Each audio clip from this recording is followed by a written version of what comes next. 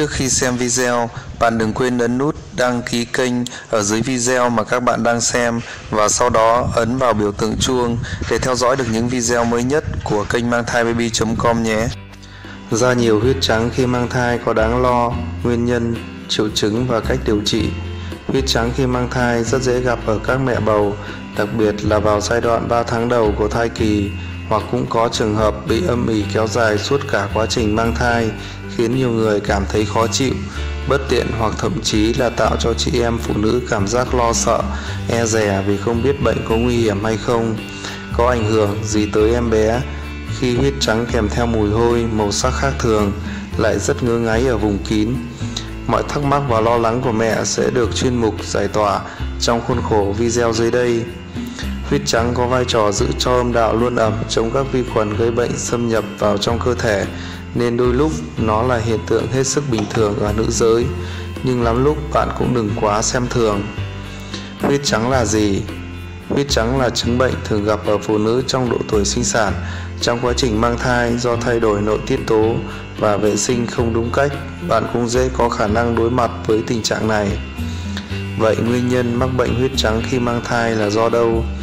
Thứ nhất là do nhiễm khuẩn, một loại vi khuẩn có tên Candida albicans được coi là thủ phạm của chứng bệnh này. Hai, thay đổi nội tiết tố khi mang thai. 3. Ngoài ra, những phụ nữ mắc bệnh tiểu đường có nguy cơ mắc chứng bệnh huyết trắng cao hơn. Lưu ý nếu bạn mắc bệnh chứng ờ, huyết trắng khi mang thai nên nhanh chóng hỏi ý kiến các bác sĩ để tìm ra cách điều trị sao cho phù hợp. Bệnh huyết trắng ảnh hưởng gì đến sức khỏe của phụ nữ? Tuy bệnh không khó chữa trị hay gây nguy hiểm đến tính mạng, nhưng nếu để tình trạng bệnh kéo dài lây lan tái phát nhiều lần sẽ dẫn đến nguy cơ vô sinh, ung thư cổ tử cung, ảnh hưởng đến sức khỏe sinh sản.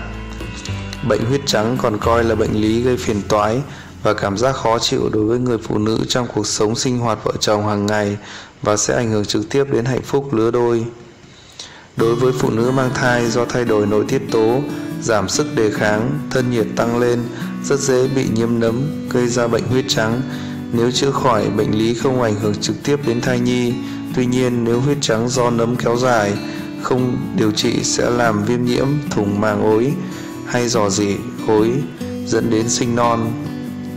Triệu chứng thường gặp của bệnh huyết trắng là gì? Thứ nhất là hiện diện các dấu hiệu như ngứa, bỏng rát, giao hợp đau, tiểu đau, tiểu nhiều lần, đau âm ỉ vùng bụng thấp. 2. Có thể có triệu chứng ở người giao phối. 3. Số lượng nhiều có mùi hôi, màu sắc thay đổi như vàng xanh, trắng đục, đóng thành váng. Thứ tư thường xảy ra sau giao hợp, sảy thai và sau sinh. Đừng xem thường bệnh huyết trắng ở phụ nữ. Khi bàn về bệnh bội nhiễm, người 10 người hết chín nghĩ ngay đến siêu vi hay vi khuẩn vì siêu vi cảm cúm, vi khuẩn được nhắc đến rất thường xuyên trên các phương tiện thông tin đại chúng. Bệnh do nấm mốc nên thường không được quan tâm đúng mức. Trong số đó, bệnh huyết trắng do nấm Candida núp sâu trong đường tiết niệu là một ví dụ điển hình.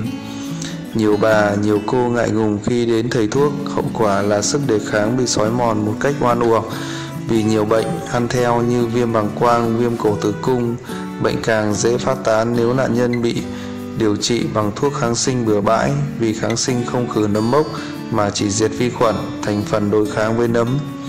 Bệnh huyết trắng khi đó như cá gặp nước khiến gia chủ mệt nhoài vì thuốc, vì tiền thuốc, vì mất chất lượng cuộc sống kể cả chuyện phòng the. Bên cạnh biện pháp vệ sinh, bệnh huyết trắng sở dĩ chiếm thế thượng phong là vì hội đủ một số các cái điều kiện. Thứ nhất là người phải sinh hoạt trong môi trường có tiếp xúc với hóa chất công nghệ hay tia tử ngoại do phải giáng nắng nhiều giờ trong ngày. Thứ hai, khẩu phần quá nhiều, quá ngọt, nhiều người khổ vì huyết trắng chữa hoài không khỏi mà không ngờ vì lượng chè mứt tiêu thụ quá nhiều đường huyết tăng càng tăng lực cho nấm thiếu hay thừa một số các cái khoáng tố chẳng hạn thiếu kém vì lao tâm lao lực thừa sắt vì lạm dụng thuốc bổ máu tăng mỡ máu vì thức khuya ít vận động chế độ dinh dưỡng đơn điệu bệnh nội tiết như tiểu đường cường tuyến giáp không được điều trị đến nơi đến chốn và cuối cùng là rối loạn nội tiết tố trong giai đoạn mãn kinh. Chữa huyết trắng tất nhiên là khó có hiệu quả như mong muốn nếu không giải quyết cho xong các yếu tố nêu trên. Mặt khác, đừng xem thường bệnh này như chuyện khó nói. Điều trị huyết trắng mang ý nghĩa dự phòng, nhiều bệnh chứng nghiêm trọng khác. Thừa nước đục thả câu hoặc bội nhiễm, nấm lan rộng hoặc vì sức đề kháng hao mòn, không quá khó để trị dứt điểm chứng huyết trắng vì không thiếu thuốc đặc hiệu. Đang nói là thuốc diệt nấm nào cũng có phản ứng phụ. Do đó, cách thoải mái và an tâm hơn vẫn là khoanh vùng tất cả các yếu tố thuận lợi để nấm mốc tuy có mặt trong cơ thể nhưng cũng không thể phát triển hay phát tán. Đó là áp dụng chế độ dinh dưỡng theo các nguyên tắc sau. Thứ nhất là tiếp tế cho cơ thể các loại vi sinh trong sữa chua để cầm chân nấm mốc, trực chờ trong khung ruột.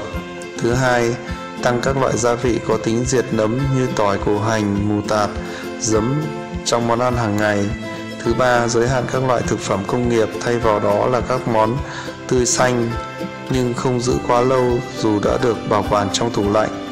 Và cuối cùng là nấm mốc phải có đâu đó trong cơ thể, diệt sạch không hẳn là hay vì gây mất quân bình cắn cân vi sinh. Nhưng cần chân nắm mốc để đừng thành bệnh huyết trắng là chuyện hoàn toàn khả thi. Vệ sinh sạch vùng kín và đời sống sinh dục cần lành mạnh. Cơ địa một số người dễ bị huyết trắng à, nấm tái phát sau khi dùng kháng sinh uống điều trị như cảm sốt đau họng hoặc một lý do nào đó gây thay đổi độ pH trong môi trường ống sinh dục.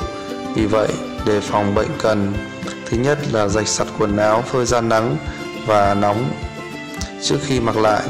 Thứ hai, năng thay quần lót, tránh mặc quần ẩm ướt không nên mặc quần bên ngoài bằng vải dày. Thứ ba, vệ sinh sạch vùng kín nhưng không dùng dung dịch rửa quá nhiều lần trong ngày vì có thể làm thay đổi độ pH. Lau khô bằng khăn sạch hoặc giấy vệ sinh sau mỗi lần rửa. Thứ tư, không thụt rửa vệ sinh mà chỉ nên rửa nhẹ nhàng bên ngoài vì ống sinh dục có khả năng tự làm sạch bằng cách tạo ra dịch tiết hoặc các nhu động hướng ra từ bên trong để đẩy các tác nhân gây bệnh ra ngoài nếu có. Thứ sáu, khi có các dấu hiệu mắc bệnh, cần đến khám bệnh tại một cơ sở chuyên khoa để được điều trị một cách thích hợp. Điều trị nấm phối hợp điều trị tạp trùng và có thể điều trị phòng ngừa nhiễm nấm tái phát hoặc điều trị cả cho chồng của bạn.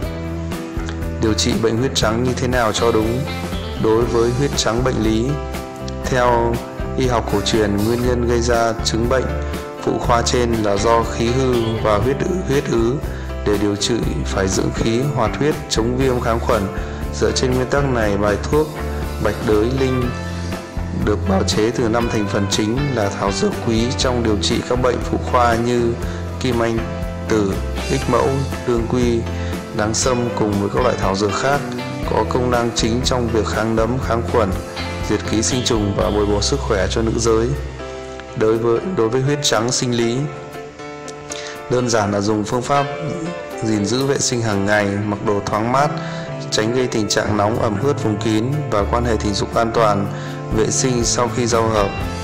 ra nhiều huyết trắng khi mang thai đối với những giải đáp thật cặn kẽ vừa chi tiết nêu trên hy vọng các mẹ đã góp nhặt cho mình những thông tin quan trọng về tình trạng phổ biến này ở thai phụ cần nhớ rằng tuy huyết trắng đóng một vai trò quan trọng trong việc giữ ẩm chỗ âm đạo để tránh vi khuẩn bên ngoài xâm nhập, nhưng một khi đã có quá nhiều nấm bệnh tấn công và vượt qua sự kiểm soát thì cũng có khả năng bảo vệ của loại dịch này rất dễ dẫn đến tình trạng viêm nhiễm, không mong muốn Vậy nên cách tốt nhất là nếu phát hiện các triệu chứng biểu hiện bất bình thường bên ngoài kèm theo thì nên tìm gặp bác sĩ ngay để có hướng can thiệp một cách hiệu quả. Chúc các bạn thành công và có một thai kỳ khỏe mạnh.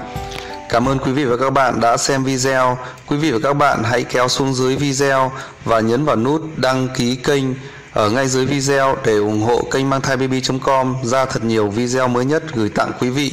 Đồng thời, quý vị và các bạn hãy truy cập vào website mang thai baby.com để nhận được nhiều hơn nữa những bài viết hay và bổ ích về mang thai và nuôi dạy con cái.